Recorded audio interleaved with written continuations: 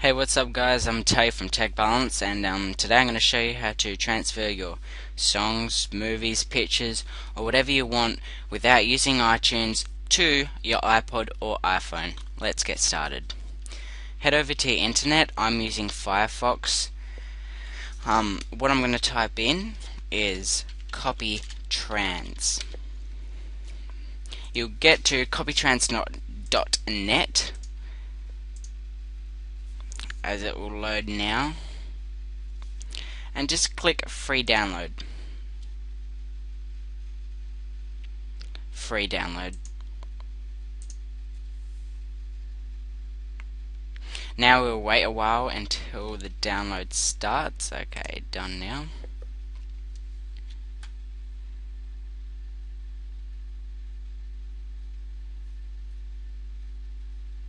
It's just taking a while. My internet doesn't seem to be working very well today.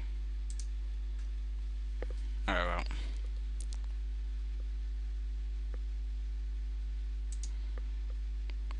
Okay, when it's done, just run it.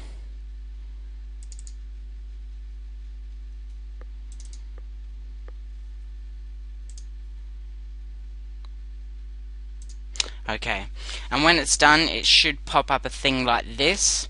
Or if, you, if it doesn't come up with this just uh, install everything and go along with it. And then you should get a thing on your desktop saying CopyTrans control center which is what we want. Okay now on the second one we have CopyTrans manager free in brackets. Click on that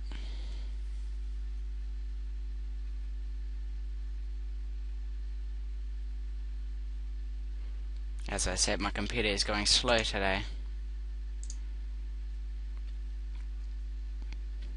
Okay.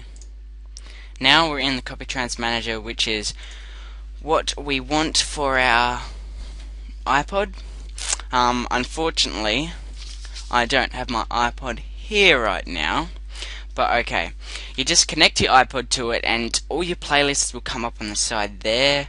Genres, categories, you can add a new playlist by clicking on that plus button there, and all your songs are all going to come down there.